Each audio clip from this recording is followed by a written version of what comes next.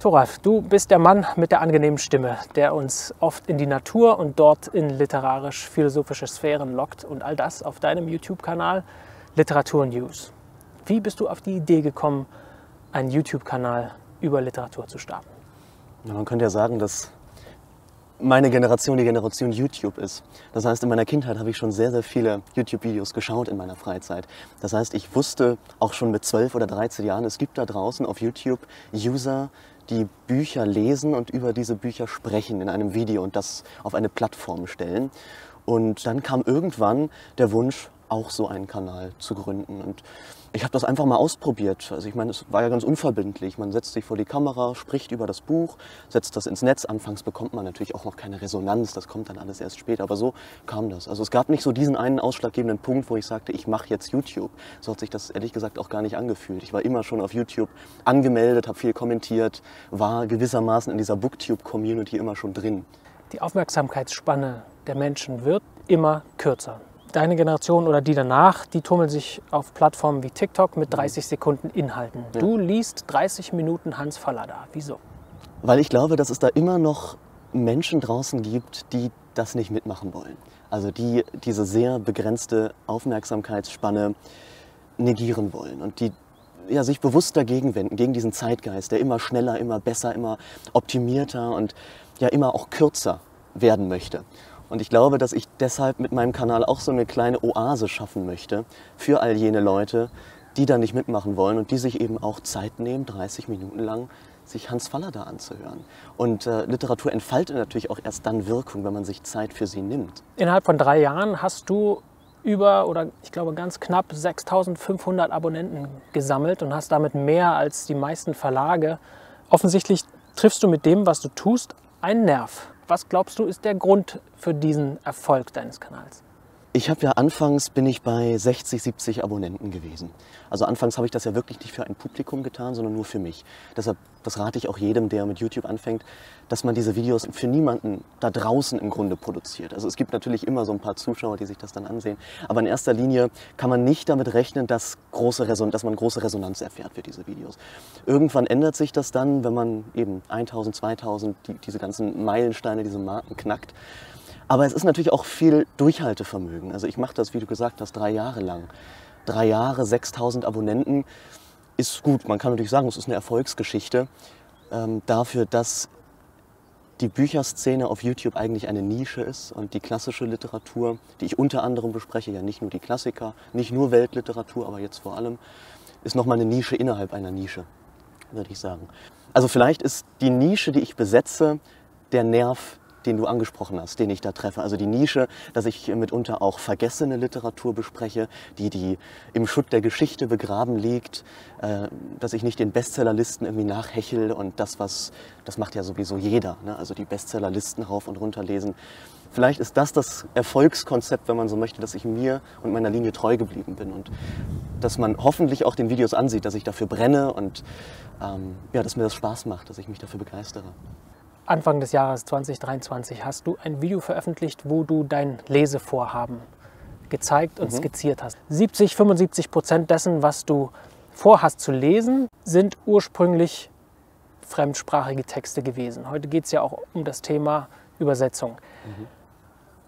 Ist das in irgendeiner Form für dich relevant, wer einen Text übersetzt hat, ein Buch übersetzt hat?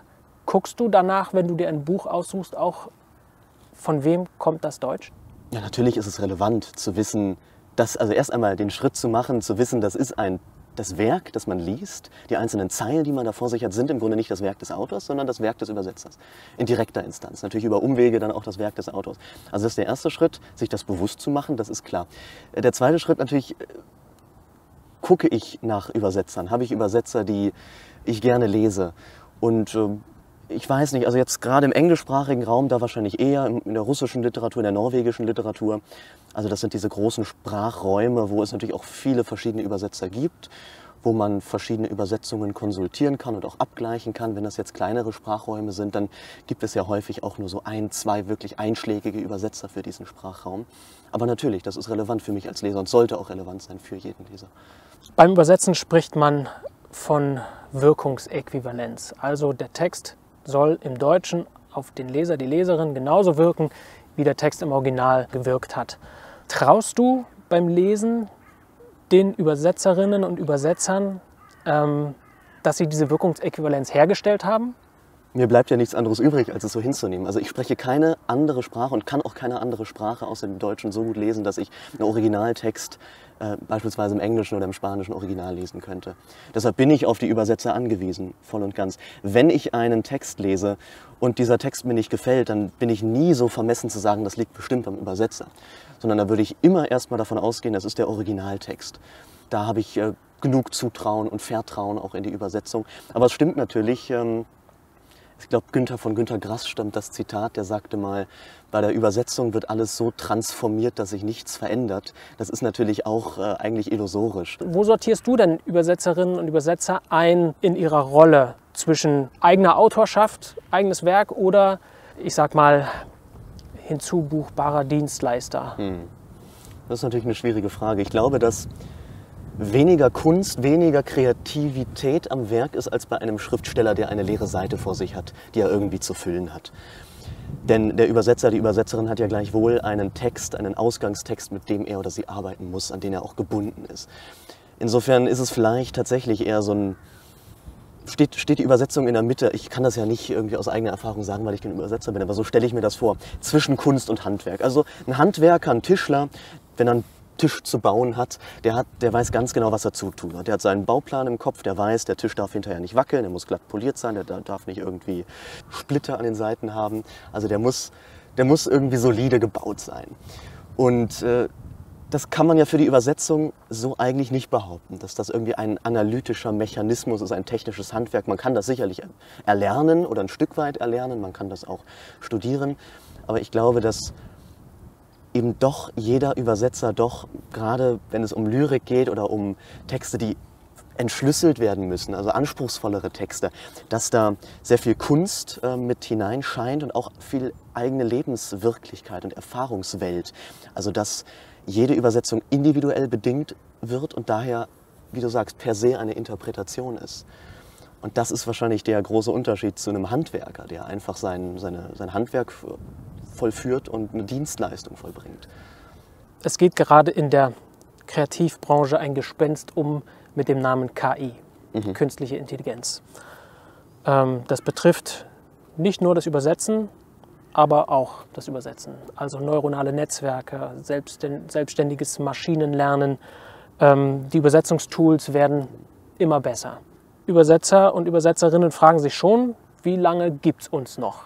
Ähm, beziehungsweise an welcher Stelle äh, wird die Branche sich als erstes verändern? Also wo werden Verlage als erstes anfangen zu sagen, hier werden wir von einer rein Mensch, menschlichen Übersetzung dazu übergehen, eine Maschinenübersetzung zu wählen und dann im Post-Editing einen Mensch dran zu setzen, der sie dann überarbeitet. Ja. Wie siehst du das? Ähm, was würde es bei dir auslösen, wenn du zu einem Buch greifst und dann steht da drauf Jack London Deutsch von Chat GPT?